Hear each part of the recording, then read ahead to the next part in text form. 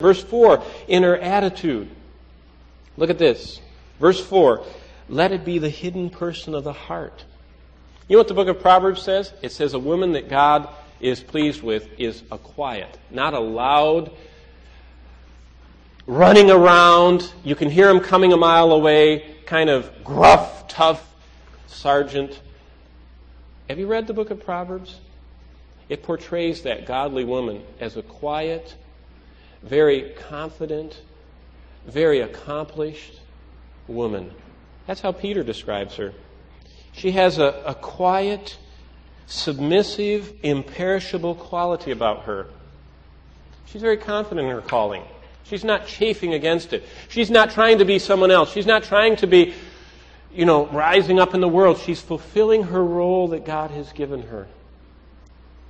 And there's great strength in that. There's great strength in knowing that, that a quiet, gentle spirit is precious in God's sight. Her attitude.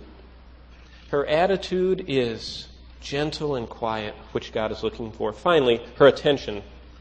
Verses 5 and 6.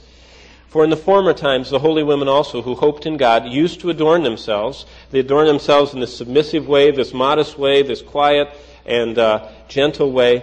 They adorn themselves this way, being submissive to their own husbands. And this is a different word, submissive. This is not hupotasso, lining up like this. This is hupakuo, uh, which means listening and, and keeping in touch with. And, and it's interesting, the word pictures that are here, but they had this submissiveness to them. Uh, and Sarah obeyed Abraham, calling him Lord.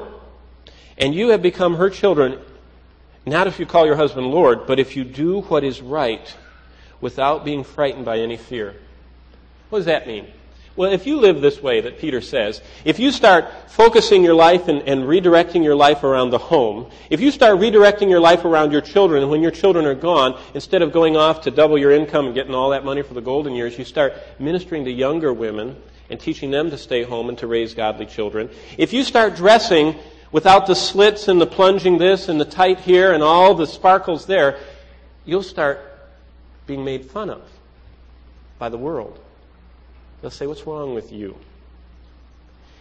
He says, verse 6 Do what is right and don't be frightened with any fear.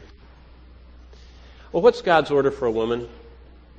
God's order for a woman is that she be submissive to her calling in God's sight, in the church, in the home, in her personal life.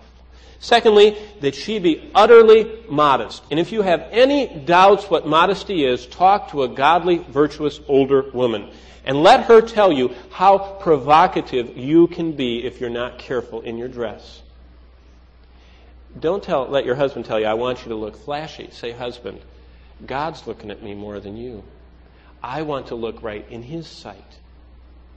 Thirdly, a quiet and gentle spirit. Don't march in there and control. That's why it's so difficult having women working in corporate life. Because they're pushed forward in corporate life to, to put themselves forward. And yet in the church and home, they're not supposed to. And there's a constant tension. And that's why Peter says, put your focus somewhere else than out there.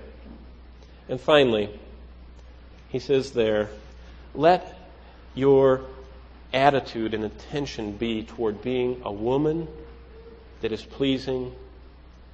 And basically, this last point is be feminine, even if it costs something.